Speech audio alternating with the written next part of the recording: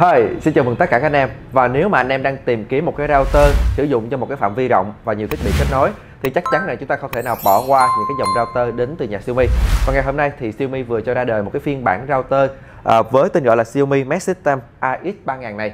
Thì hiện tại thì à, Minh cũng tìm trên YouTube và những cái kênh à, về review thì cũng chưa có ai review về cái dòng của AX3000 này nên là mong muốn cái video ngày hôm nay chia sẻ với các anh em những cái thông tin cơ bản nhất về con này cũng như là chúng ta test được cái tốc độ nó như thế nào. Thì xin mời anh em cùng xem hết video ngày hôm nay nha. Life goes up and it goes down. I know my mom taught me that. I figured why we fool around So little and we keep track of time. Being so serious, idiots Thinking it will matter, keep me company downtown. Before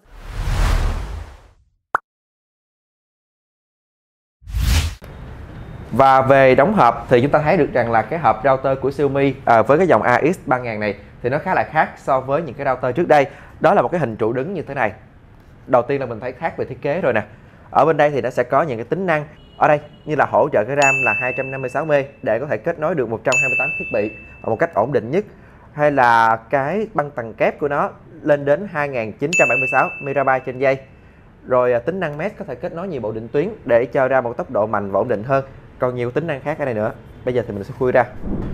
Đây à, khi mà mình khui ra thì bên trong này nó sẽ có một cái hộp phụ kiện. Kèm theo cái phụ kiện này thì gồm có một cái đốc nguồn và một cái dây lan. Thì cái dây lan này khá là ngắn nên là thông thường mình cũng không có sử dụng tới đâu. À, mình sẽ mua về và mình mua một cái dây lan khác dài hơn. Và một cuốn sách hướng dẫn sử dụng. Một cuốn bằng tiếng Anh và một cuốn bằng tiếng Trung. Rồi còn đây là nhân vật chính của chúng ta. Thì mình nhìn thấy à, khá là đẹp với một cái hình trụ đứng như thế này tiết kiệm rất là nhiều diện tích. Và màu đen thì khá là sang trọng.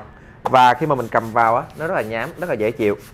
Và đây à, với cái hệ thống anten à, 4 cái anten sẽ phân đều ở 360 độ giúp cho cái việc là cái kết nối nó ổn định hơn và cái phạm vi nó rộng hơn. Và bên cạnh đó nó còn hỗ trợ một cái thuật toán sửa lỗi là LDPC nó giúp nâng cao khả năng chống nhiễu trong cái quá trình mà mình truyền dữ liệu. Và bên cạnh đó thì đây là một cái à, cục router có thể cho hai cái à, băng tầng là 2.4G và 5G và hai cái băng tầng này nó đều được trang bị một cái bộ khuếch đại tín hiệu độc lập là BA à, cộng với LNA với cường độ tín hiệu tăng lên à, 4 decibel và cường độ phủ sóng lý thuyết là tăng lên 50%. Nó mang đến một cái khả năng xuyên tường mạnh mẽ hơn. Thì một hồi nữa cái tính năng à, xuyên tường này mình sẽ test kỹ cho anh em khi mà mình di chuyển từ cái vị trí đang ngồi à, xuống lầu 1, lầu 2, lầu 3 mình đi từng lầu như vậy để xem cái tín hiệu nó như thế nào luôn và với cái tốc độ này thì mình sử dụng được cho cả những cái quán cà phê những cái văn phòng nhiều người sử dụng thì anh em cứ yên tâm. Và đặc biệt là với những cái nhà cao tầng hai ba lầu thì mình cứ việc sử dụng cái con này. Một cái thì mình có thể sử dụng được cho cả căn nhà mà mình không cần cái bộ kích sóng wifi. Rồi và bây giờ thì mình sẽ kết nối nguồn và kết nối mạng cũng như là cấu hình cái cục router này cho anh em xem thì nó đơn giản. À, mình rất là dễ kết nối dù cho anh em không có chuyên nghiệp thì mình tự kết nối nhà được không cần đến kỹ thuật. Rồi ở đây thì nó sẽ có bốn cái cổng vào là ba cái cổng LAN và một cái mạng WAN ở đây thì nó sẽ có một nút reset và một cái cổng nguồn. Ở bên này là một cái nút mesh. Thì à, mesh là một cái tính năng khá là cần thiết cho một cái cục router. À, bởi vì anh em bởi vì anh em biết là khi mà chúng ta mua một cái cục kích wifi á, thì nó có khả năng là hút wifi và phát ra thì phát ra nó sẽ làm mạnh cái mạng mình hơn. Còn tính năng mesh là nó vừa hút mạnh và nó vừa phát ra mạnh nữa. Vì vậy là rất là cần thiết trang bị cho một cái cục router như thế này. Rồi mình chỉ cần kết nối nguồn vào. Rồi khi mà mình nên kết nối nguồn á ở đây nó sẽ có hai cái đèn led, là một cái đèn của system và một cái đèn của internet. Thì à, để mà mình kiểm tra lỡ mà nó có vấn đề gì thì mình nhìn hai cái đèn này. Khi mà mình kết nối nguồn điện thì nó sẽ có một cái đèn màu cam sáng lên và nó bắt đầu khởi động. Rồi, bây giờ mình sẽ cắm cái mạng WAN vào.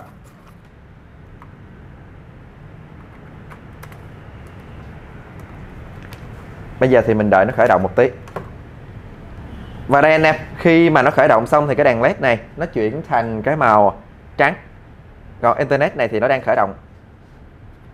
Và rồi để cấu hình cho cái router này thì mình cần đăng nhập cái wifi của nó. Thì trên màn hình của mình nó đang hiển thị hai cái router. À, là Xiaomi router của 2.4G và 5G thì mình sẽ vào kết nối và để cấu hình cho nó. Khi mà mình bấm vào kết nối nó sẽ đưa mình đến một cái web. Đây. Bây giờ thì mình bắt đầu chọn cái quốc gia. Rồi next. Rồi bấm try it now rồi bây giờ thì mình cứ việc bấm next thôi. Ở đây thì nó sẽ cho mình một cái là có muốn à, ghép hai cái này lại thành một cái wifi hay không thì mình không nên. Mình sẽ tắt cái này để một hồi mình test giữa cái 2.4G và cái 5G cho anh em xem luôn. Đây thì mình sẽ đặt tên. Ví dụ như cái 2.4G thì mình sẽ đặt nó là 2.4G luôn. Để một hồi mình dễ theo dõi. Còn cái dưới thì mình đặt nó là 5G rồi, mình đặt mật khẩu. Rồi, khi mà mình đặt mật khẩu xong thì mình bấm nét thôi. Như vậy là mình đã cấu hình thành công rồi đó anh em. Rất là đơn giản, mình tự làm ở nhà được luôn. Bây giờ thì mình đợi một tí, để nó hiện lên. Đây, bây giờ nó đã hiện lên rồi nè anh em. Ở đây thì nó hiện lên cái 2.4G đầu tiên rồi nè. Mình đợi một tí thì nó sẽ hiện cả hai cái rồi bây giờ thì nó đã hiện cả hai cái 2.4G và 5G nè anh em nhìn thấy ha. À, mình sẽ kết nối với cái 5G để mình sử dụng cái bit test để test thử cái tốc độ cho anh em xem. Mình nhập mật khẩu vào thôi. Rồi bây giờ thì mình sẽ qua cái bit test.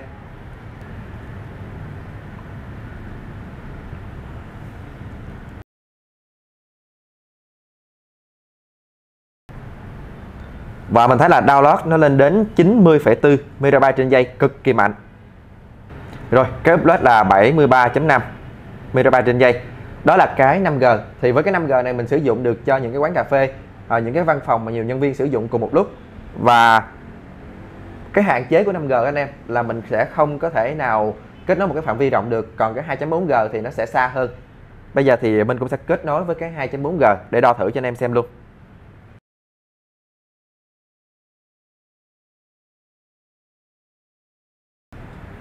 Đây là mình đang đo cái 2.4G nha. Thì cái 2.4G cái tốc độ nó sẽ tương đối thấp hơn. Như download nó chỉ còn có 31,5 nè. Rồi cái upload nó chỉ còn có 36,7 thôi. Nhưng mà về cái độ xa thì nó sẽ tốt hơn so với cái 5G và đặc biệt là cái khả năng xuyên tường của nó. Rồi bây giờ thì mình cũng sẽ test thử một cái cục wifi rồi bây giờ thì mình cũng sẽ test thử cái wifi mà của nhà mạng cho anh em xem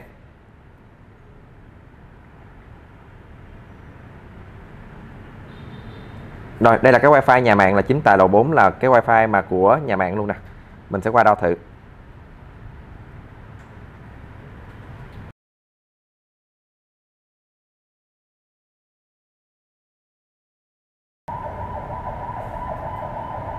Rồi, upload nó cũng chỉ có 30,6 thôi nên là nó yếu hơn rất là nhiều so với cục router này. Rồi đó là những cái cơ bản khi mình đo với best test. Còn bây giờ thì à, mình cũng sẽ di chuyển uh, xuống lầu và đi một cái vị trí càng ngày càng xa hơn để xem nó có cái phạm vi được bao nhiêu và cái tốc độ của nó thay đổi như thế nào thì bây giờ mời anh em cùng theo mình và đây anh em à, cái mạng 5G và cái mạng 2.4G mình đang để trên màn hình thì bây giờ mình sẽ di chuyển xa hơn à, xuống những cái lầu và cách tường nhiều hơn thì xem nó như thế nào. Xin mời anh em cùng đi cùng mình nha. Bây giờ thì à, mình di chuyển xuống một lầu thì dường như là cái tín hiệu nó chưa có thay đổi.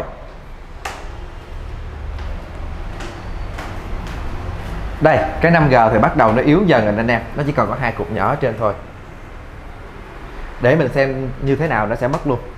Rồi, và để mình xem mình đi cỡ nào thì nó mất luôn. Mình xuống lầu 2 thì dường như cái 5G nó chỉ còn có một cái cục nhỏ xíu thôi. Đi cái nữa cho nó mất luôn rồi. Rồi, thì bây giờ coi như là 5G nó rất là yếu rồi. Bây giờ thì mình qua kết nối từ 2.4G bởi vì thấy nó còn khá là mạnh. Đấy 2.4G thì nó nhảy lên được gần đây. Là hai đầu rồi nha, xuống nữa.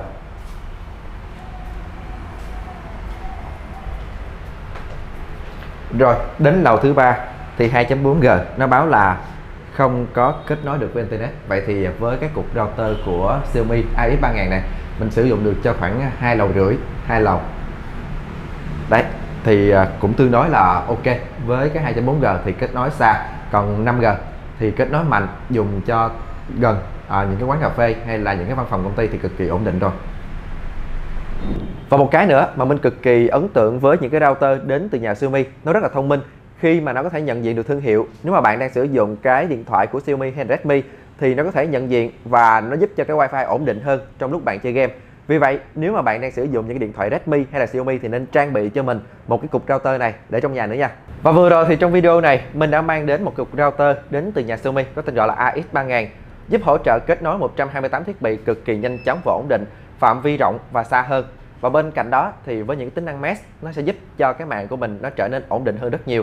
Nếu mà anh em quan tâm thì có thể comment bên dưới hoặc là có những thắc mắc, những câu hỏi nào cứ việc comment hoặc là nhắn tin trực tiếp về fanpage của chính tài để được tư vấn kỹ hơn. Và nếu mà anh em nào đã sử dụng cái cục router này rồi có những đánh giá nào thì có việc comment bên dưới cho mình biết với nha.